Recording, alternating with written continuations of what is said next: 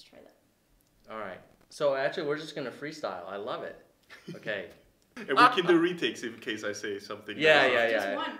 Ariel, Ariel uh, edits the hell out of our shit. Hey, creators! This week I've got a special guest. I've got Andreas from the YouTube Analytics Engineering team, Hi, everybody. and uh, Katie, who commented on one of our first videos, said, "Hey, I would like to learn more about analytics." So luckily, we found uh, a real living YouTube analytics engineer, and uh, it would be great to kind of just talk a little bit about uh, one of the recent topics that's come up, which is like, hey, sometimes it takes a while to see your data. Like it is a little frustrating sometimes when you look at a chart and it's like, oh, this is not available yet. Yeah, we're actually very aware of this problem, and I'm not happy with the state we are in, and we want to get a lot better there. For mobile, where we've recently put in a lot of more real-time data, but um, we've also gotten the latency down there to about one day, depending on the time zone that you're in. Time zones are really complicated and um, make the picture a little bit different depending on where you are. All right, so that's a good tip. So if you if you want the earliest access to data, using the mobile app is a great way to, to That's see right. stuff a little That's right. faster. Yeah, you, Yeah. you have the real time stuff on the desktop as well. Mhm. So you there you also always see kind of stuff that is happening, and we know that real time is like uh, a page that is is used a lot by creators, right? Mhm. They, they go to the real time page a lot. So there you always have the most recent data. Mhm. But if you look at your lifetime stats or your last 28 days, right? Mhm. There's this data data lag where we have kind of the granular- granularity of one one day, uh, and that on mobile is not better than on desktop. Mhm. Okay, awesome. But we're not going to stop there.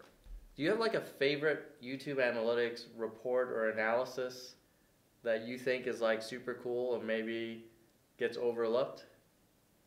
Um, I think the audience retention report is really awesome, right? Mhm. Because it allows you to see when people drop off.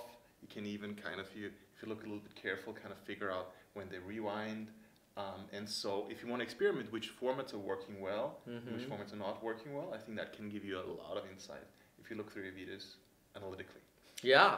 You know, actually, this morning, um, I was playing around with, with YouTube Analytics, and on another channel, I um, was experimenting with different formats. I was like reviewing products by myself, and then reviewing products um, with my kids.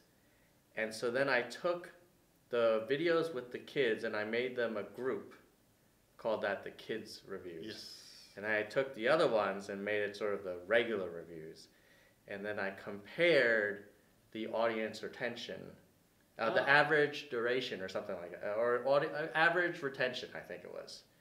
And I found that the ones with the kids uh, outperformed the ones that were just me. There you go. Experiment success. Yeah. So so that audience retention is really really cool. And well, Andreas, thank you so much for dropping by our our little channel. Uh, guys, if you're interested in learning more about the audience retention stuff, we'll uh, put a link to the Creator Academy and uh, some of the help topics uh, down below. If you want to leave some comments for follow-up questions, we could drag Andreas back Oh, Uh, I'd in- love to read them. And come back and answer them too. Yeah, sure. Great. Does I need to point to, or did you just So we're, point? there's gonna be one up here, and then there's No, gonna be one you have down to there. point both kind of like. Yeah, you. We'll just do like we have to synchronized swimming. completely practice this. Now. Yeah, yeah. We'll do. You. You just. I'll. You just there. Just stay with me. There you go. awesome. Are we still recording? Yes, of course. All we right. are. All right. Good. Okay. If you thought that was helpful, there's a lot of really easy things you can do to stay in the loop. Number one is to subscribe. That's the most important thing. There should be a subscribe circle right here. You just click on that. And if you really, really want to know the moment the video is ready, there's a little bell as well. Go, go ahead and bell that as well. Now, after you do that, cool video right here. Video about some more Creator Insider behind the scenes tips and tricks. Keep it real.